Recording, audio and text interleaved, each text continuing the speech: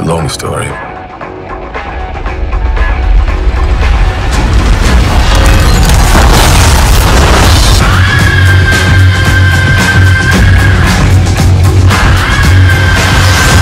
Asgard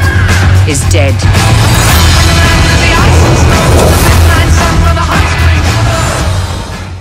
ทอแลกนาล็อกศึกอวสานเทพเจ้า เคล็ดลับของผู้กำกับชาวนิวซีแลนด์ไทก้าไวติติ คือการทำในสิ่งที่เป็นตัวเองมากที่สุด ซึ่งไวติติก็เชื่อว่าธอร์ในสไตล์หนังไซไฟแฟนตาซียุค 80 จะเป็นที่ถูกใจของผู้ชมผู้กำกับคนนี้บอกว่า พยายามที่จะละทิ้งความจริงว่ามีหนังธอร์ออกมาแล้วสองภาคก่อนหน้านี้ และไม่คิดถึงอะไรอย่างอื่นนอกเหนือจากหนังที่เขาทำอยู่